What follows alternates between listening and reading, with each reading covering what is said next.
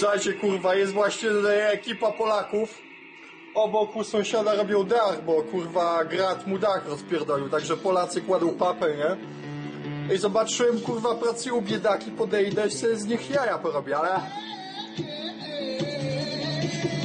Okazało się, że jeden z nich ma wyższe wykształcenie, nie? A ja się go pytam, ty, chuju, typie, co skończyłeś w Polsce, nie? Myślałem, że jakieś tam zarządzanie turystyką, kurwa.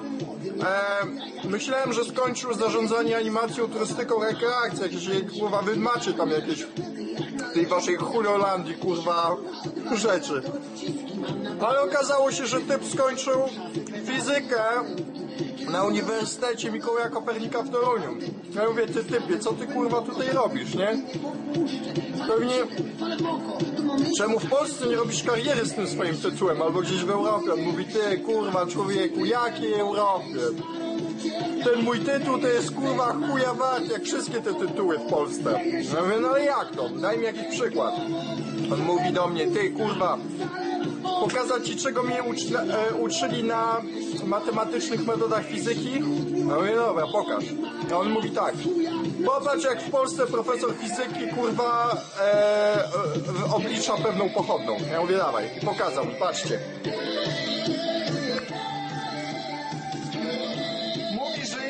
Profesor wziął funkcję kurwa na ćwiczeniach Chociaż nieraz mam ochotę swoje żądze zaspokoić. Dzwonię wtedy do dziewczynek, żeby użyć trochę i sobie. według tego się Młody dupy z wielkim cycem zabawia. Także on mówi, jak ja to zobaczyłem na tablicy, to kurwa już złączliłem, nie? I później mówi, pytam się byłem profesora, kiedy będą całki eliptyczne. On mówi, jakie, jakie kurwa całki eliptyczne? Co ty kurwa w ogóle pierdolisz typie?